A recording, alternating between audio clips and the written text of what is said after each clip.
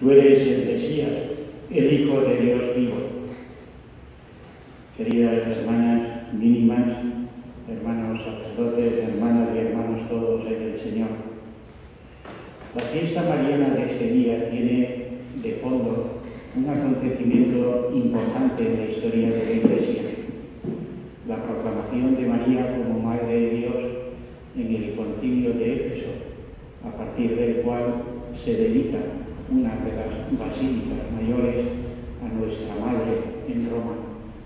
Y como eco de esta celebración, en el calendario litúrgico que llega hasta nuestros días, se nos invita, aunque no de manera obligatoria, a acudir a la protección de nuestra Madre.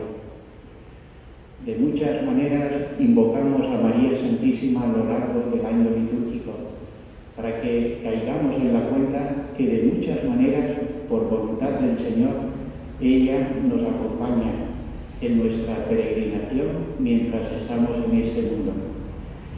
Y en esta peregrinación la palabra de Dios nos recuerda que hemos de mantener siempre abierto el oído a la escucha de la palabra de Dios para salir victoriosos en la batalla que el mismo Señor permite nunca para nuestro hundimiento, sino para fortalecernos. Y así la primera lectura nos sigue ofreciendo el relato continuo del libro del Éxodo, donde la travesía del pueblo elegido va encontrándose cada día con nuevos obstáculos. La mayoría de esos obstáculos no proceden de fuera, sino de la dificultad de caminar juntos y surgen entre los miembros del pueblo quejas, divisiones, nostalgia de un pasado que aun reconociendo que era malo se considera mejor que el presente y el futuro que el Señor les está regalando. Y es entonces cuando el pueblo se queja contra el Señor. Esto pasa continuamente en nuestra vida. Situaciones difíciles, atravesar el desierto lo es, que ponen a prueba nuestra capacidad de mirarnos como el Señor nos mira ¿Cómo vencemos estas situaciones y salimos fortalecidos? La primera lectura nos regala una expresión que a diario pone la liturgia en nuestros labios, con la que abrimos la oración en la mañana o cuando aún todavía ni siquiera ha amanecido. Ojalá escuchéis hoy la voz del Señor. Para vencer la tentación necesario es prestar oído a la palabra de Dios. Eso es literalmente obedecer o paudire, obedece el que pone el oído, el que escucha lo que Dios quiere. Y segundo, de igual importancia, dejarse sorprender siempre por el poder del Señor, que es más grande que nuestras dificultades. Y a partir de una roca seca, Moisés, golpeándola, consigue que brote agua que sacia la sed del pueblo.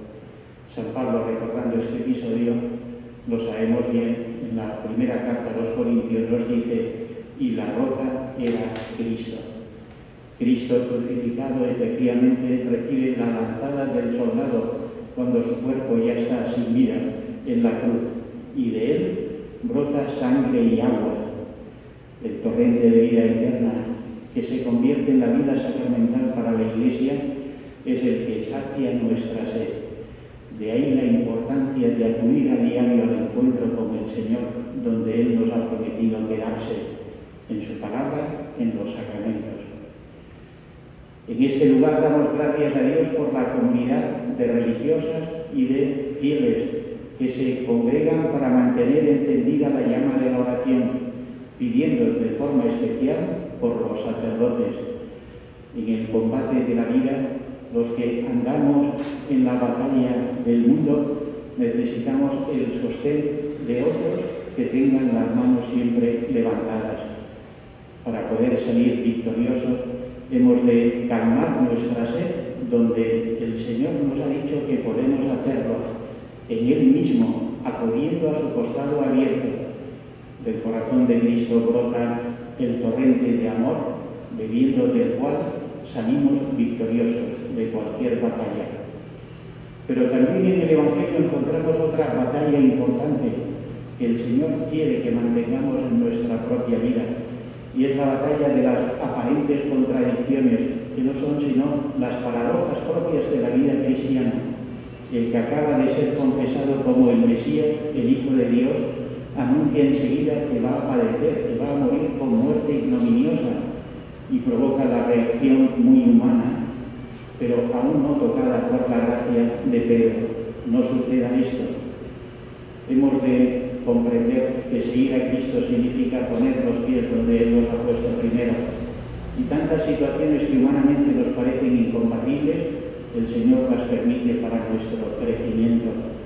No hay fruto si el grano no muere, no hay vida si no hay primero muerte, no hay resurrección si no estamos dispuestos a abrazar el misterio de la cruz, no hay luz si estamos y no estamos primero dispuestos a entrar con confianza en la oscuridad de una vida que se apoya solo en la fe. Y así tantas situaciones que nos parecen enfrentadas. En Cristo se concilian los contrarios, afirmaba Pascal. Expresión hermosa para recordarnos cómo nuestras dificultades muchas veces para unir vida de oración, compromiso en la familia, en la vida de comunidad, tantas situaciones que nos parecen incompatibles, en Cristo, se concilian. Pues que esta celebración en la que invocamos el dulce nombre de María, llamándola de muchas maneras para reconocer su presencia entre nosotros, nos ayude, acudiendo a la Madre, a tener cada vez más confianza en el Hijo. Esta es la voluntad del Señor que los dones de gracia que Cristo nos ha alcanzado con su entrega redentora, los recibamos contando y teniendo a María como madre. Por eso, conviértase en un lema también para los adoradores, los que permanecen a solas en el diálogo, diálogo de la oración con Cristo y Eucaristía, palabras sencillas que reflejan una vida puesta en manos de nuestra Madre.